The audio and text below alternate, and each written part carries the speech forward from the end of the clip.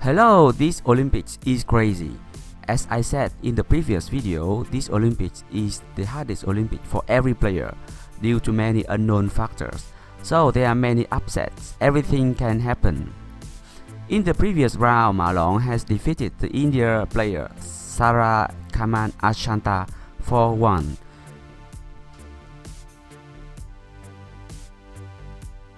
Ma Long said that it was indeed a tough game.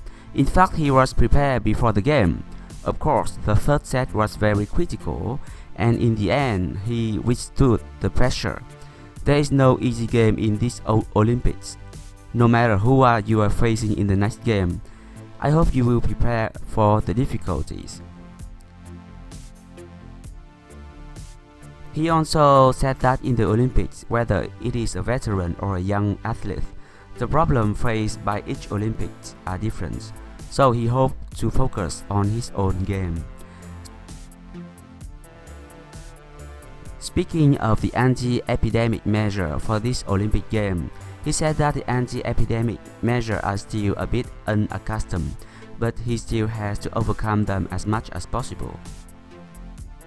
In the next round, Ma Long will play French player Simon Gauzy. Based on the head-to-head -head statistic, Ma has played against Simon Gauzy three times, and Ma Long won all of the three times, but difficult. As I said, everything can happen, so this could be a tough match.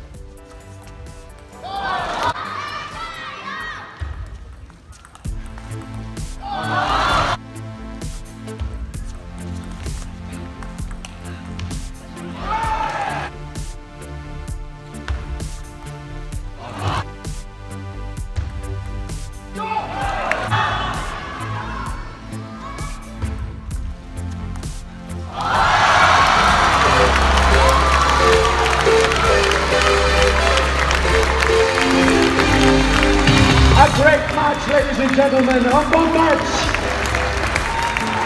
for medal de bronze, for the bronze medal here at the Liebherr 2017 IGF.